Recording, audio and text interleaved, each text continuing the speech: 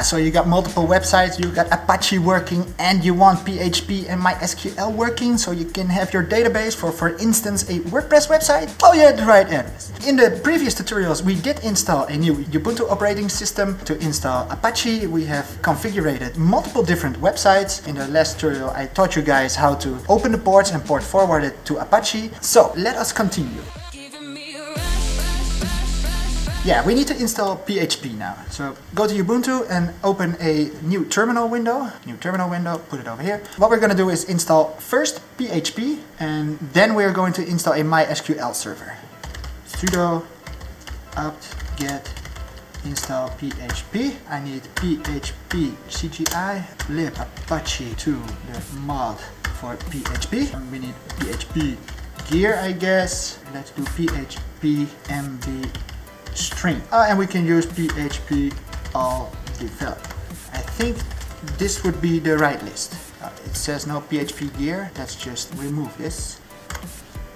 Aha, so we need to download some stuff and install it and it's a big list as you can see it needs a couple of dependencies to be able to work so let your Ubuntu version install this that was the first list of things and let us sudo apt install some more stuff first let's install the MySQL server MySQL server.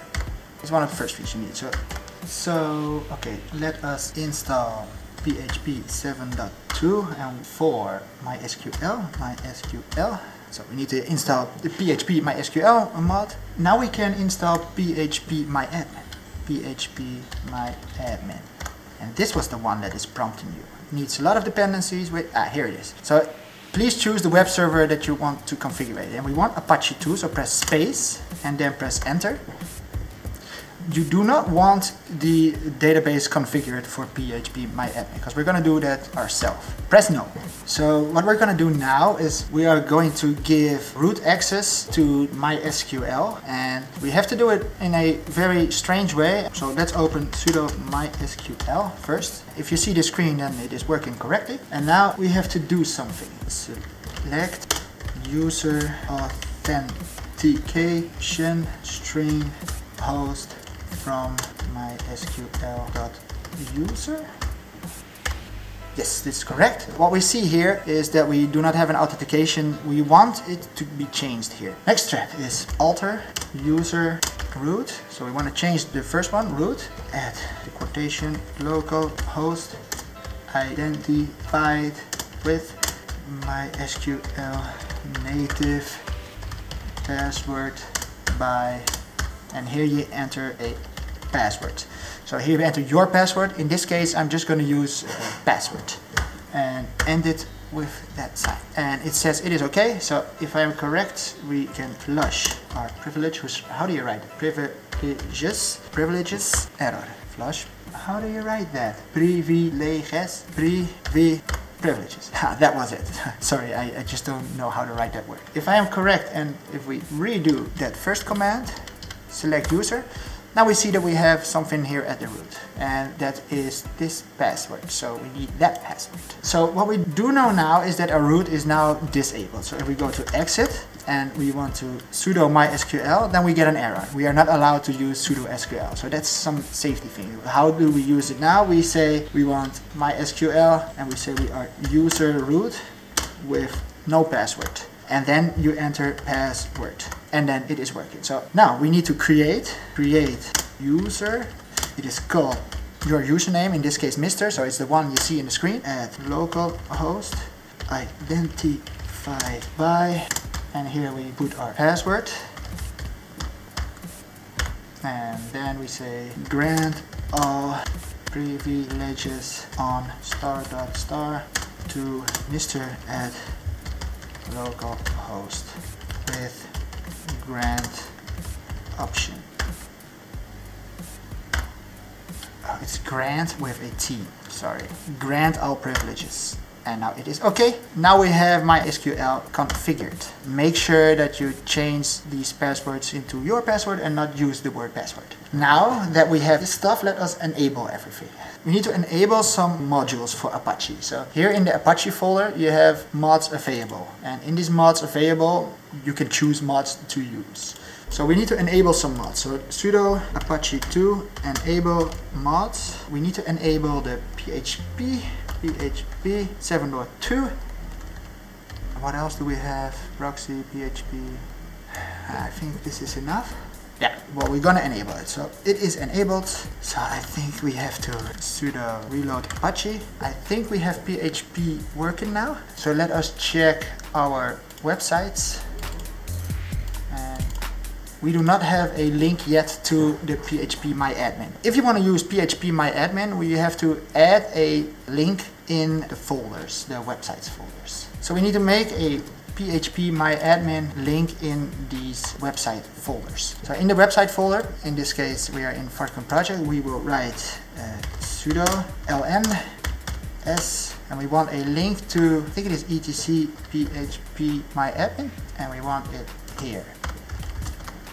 Yes, we did it. So we need to put this command, copy it in every folder, in every website folder. So just paste it oh, that's boring, rewriting it all the time. Let's go cd double dot dash. We use double dash slash to go back one folder. Now we are in that folder and let's rerun this command. Let's go cd double dot slash light, do the command here and do cd double dot other websites and do it in here. So now all websites have a link to PHP MyAdmin as you can see. So what does this do? Let us go back to our internet. Open Firefox on top of the screen fartcoinproject.com and now we can put php my admin and as you can see we are being sent to this website we are in the php my admin here we put root and we put the password we did create Remember that one that we did create in the MySQL, where was it? Here. That password that we added here. It's this password on this user. Create user Mr. at localhost. Maybe that one would work too. So let us check that out. I, am not sure. Let's try it. I'm not sure. Maybe that worked too because we made that new user Oh, but it works as well. So now we created a user and if you want different users with different MySQL accounts, you know how you did that. You did that here. We created a user identified by a password. So we are almost there to get ourselves a WordPress website. Let's just finish this up and create a WordPress website. So let's download WordPress. You go to wordpress.org slash download, you download it, save the file, Oh, it's already downloaded. Wow, it was so fast. If you have the WordPress folder, just extract it and we can copy all these files and send them all to a folder that we are going to use. So let's just go for Fartcoin project since it is the one that I use the most. So yeah, let's open this WordPress folder in a new terminal. So make sure that you are in the WordPress folder and let's right, sudo copy everything and send it to var ww this folder. So, and as you can see, it did just copy it, but it's already telling us uh, we do not have this folders, wp admin and the content. And to be able to do that, we have to say copy and then give the option R for folders, copy all folders over there. And now we see all the folders. So what's going to happen now if we go to that website? Go back to Firefox and let's check out this website history, clear everything. Oh, okay, so it's opening the index.html first. So we have to delete that. Let's go back. Here we have HTML and it's choosing HTML before PHP. Let's just simply sudo remove index.html. So now it is removed. Now we only have index.php because that's what it uses. And if we refresh now, we are here in WordPress. You will automatically get sent to this setup because we do not have a setup yet. So here in the database name, you press MySQL, that's the name of the database. You use that username that we just created, that Mr. Uh, you use your password localhost, and let's call this, uh, the table prefix would be the name of the table. So in this case, this is for the website Fartcoin project, so let's call it uh, Fart yeah, let's just call it fight.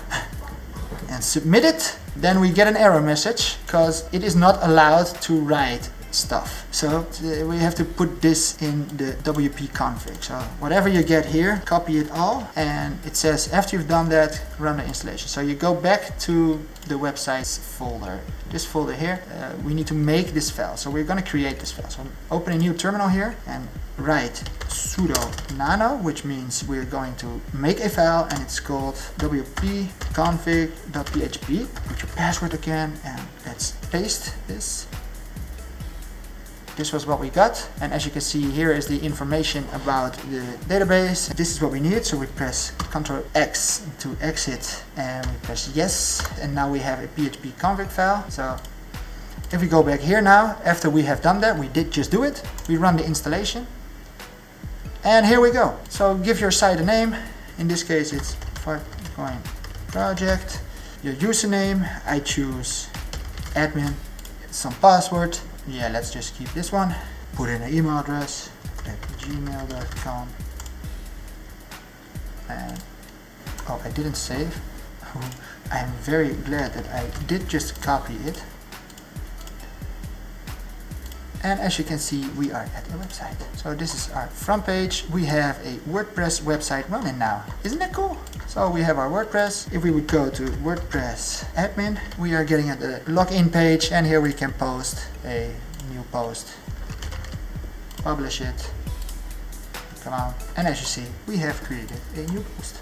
So that is it. That is how you do it. We finished it. We created a WordPress website I guess we did it. We created our own websites, all from home. So I hope you guys did did learn something new today in this tutorial. I hope you guys did enjoy it, and if you did enjoy it, let me know it by giving it a big thumbs up. And if you're new to my channel, it would be so awesome if you would subscribe to my channel, because I make these kinds of tutorials every once in a while. See you guys in the next episode.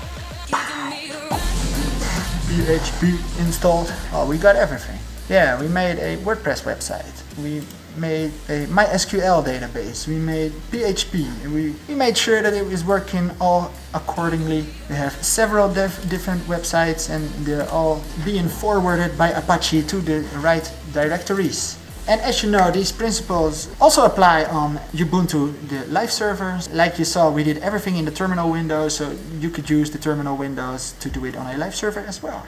That was all for today. I think we have enough. What a lot of work. We got it. We got it working.